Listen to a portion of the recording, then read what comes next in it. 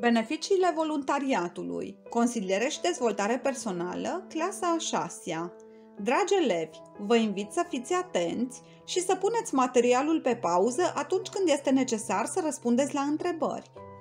Auzim deseori la televizor sau la școală vorbindu-se despre voluntariat. Dar ce este mai exact voluntariatul? Voluntariatul este o activitate desfășurată din proprie inițiativă, adică nu obligatoriu, de o persoană sau un grup de persoane pentru a-i ajuta pe alții, fără a primi în schimb bani sau alte recompense.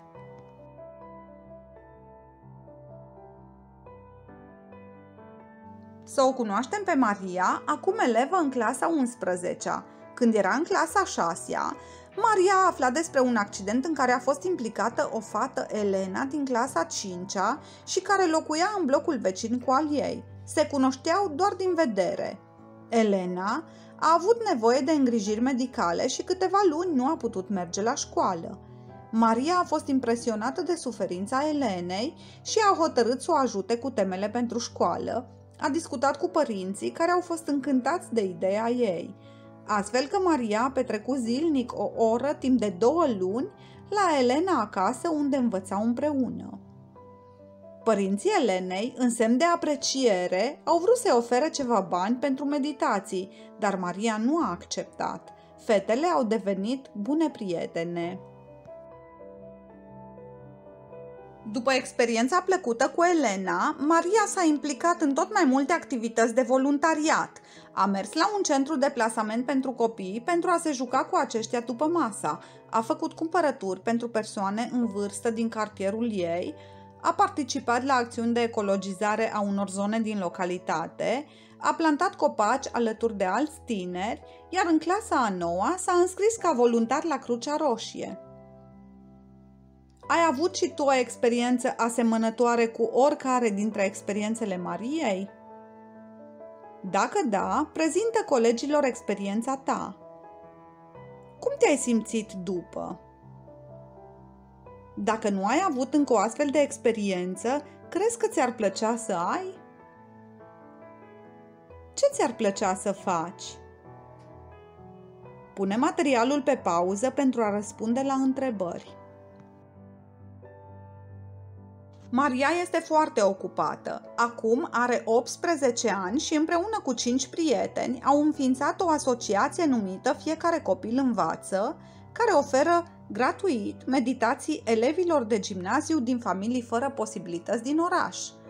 Meditațiile le țin într-o sală de clasă în școala în care învață. Vechea prietenă Elena este și ea voluntar al asociației. Spre bucuria tuturor, doi profesori de matematică s-au alăturat acestei inițiative.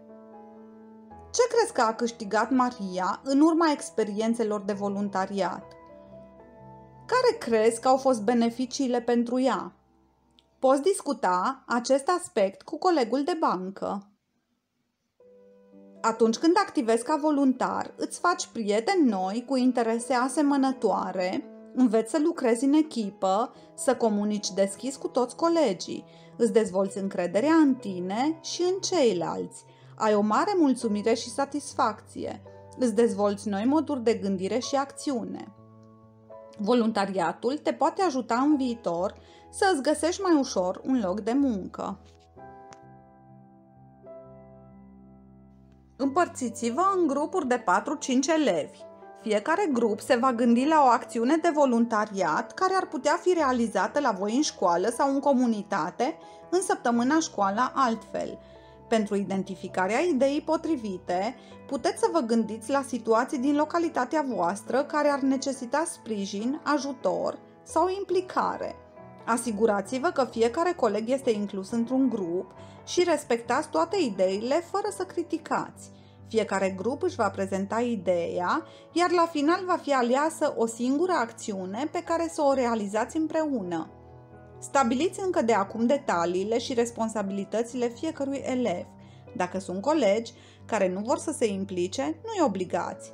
Voluntariatul este decizia fiecăruia. Voluntarii nu au neapărat mult timp liber, ei au doar inimă. Fii și tu voluntar. Cu siguranță vei avea mult de câștigat.